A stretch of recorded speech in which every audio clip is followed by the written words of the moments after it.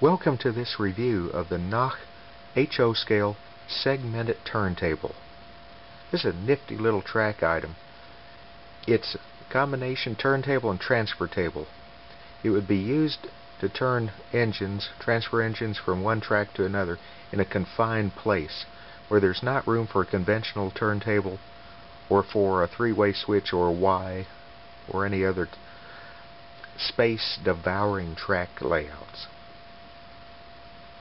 It runs in both analog as well as DCC. It's compatible with NMRA systems, with Märklin, with AC 3-rail, and a host of the popular power plants in Europe and America. It comes fully assembled except for the plastic railings, which you have to cut out and install, a laser cut bumper that you can cut out and install, and the control column which is a four piece unit five pieces if you include the metal rod that you put in for the control crank. Glue is not provided.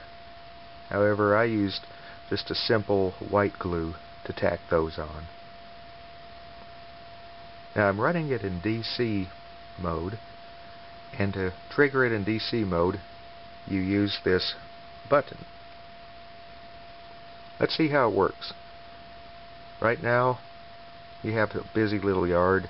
You have one engine that's spotted and waiting for its next assignment. You have another one that needs to come on. Let's bring the turntable, align it from the far track to the center track. The system is self-aligning. Now, we'll run the engine back.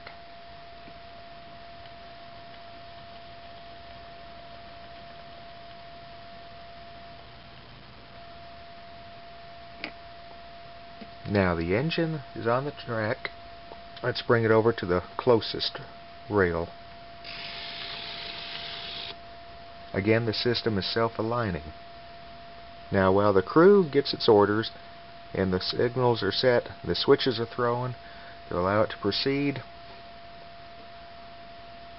Here we go, forward.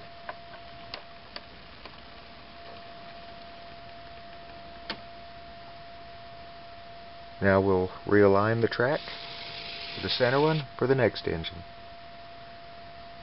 I hope you've enjoyed this demonstration of the NOCH HO scale segmented turntable.